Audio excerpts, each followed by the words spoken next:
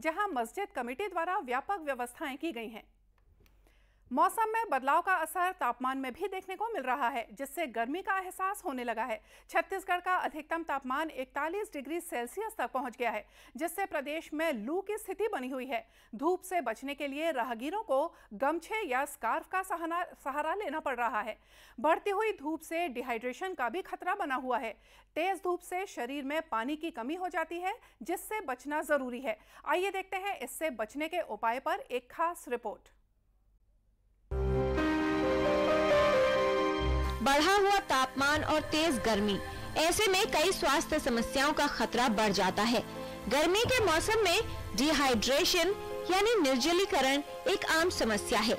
यदि इस पर ध्यान न दिया जाए या कारगर उपचार न हो पाए तो ये जीवन के लिए खतरा साबित हो सकती है।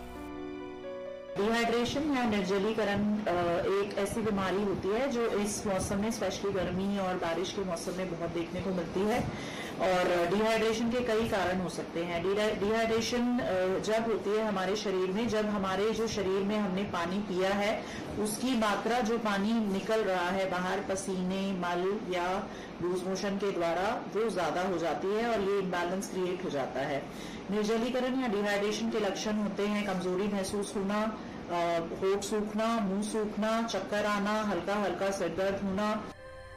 शरीर के तापमान को सामान्य रखने के लिए शरीर में पानी की आवश्यकता होती है।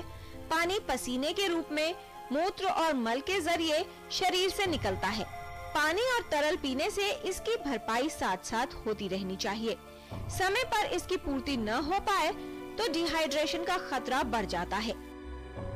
डिहाइड्रेशन को से बचने, निर्जलीकरण से बचने के ये कारण होते हैं कि घर में जो भी पानी है, उसे साफ़ करके पीते रहें। छाछ या लस्सी पिए, नारियल का पानी पिए, और नमक, चीनी का घोल जो सरकार ने ओआरएस का सोल्यूशन बनाया है, उसको पिए और साफ़ सफ़ाई का ध्यान रखें और अपनी पानी पीते रहें, जिससे आपको डिहाइड्रेशन या निर्जलीकरण के लक्षण ना हो।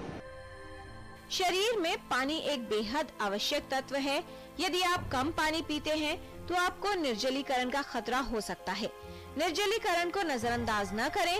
गर्मियों में निर्जलीकरण से बचाव के लिए पर्याप्त मात्रा में पानी पीते रहें। यदि निर्जलीकरण की समस्या लग रही हो तो नमक, चीनी का घोल या फिर ओआरएस का घोल अवश्य पिए।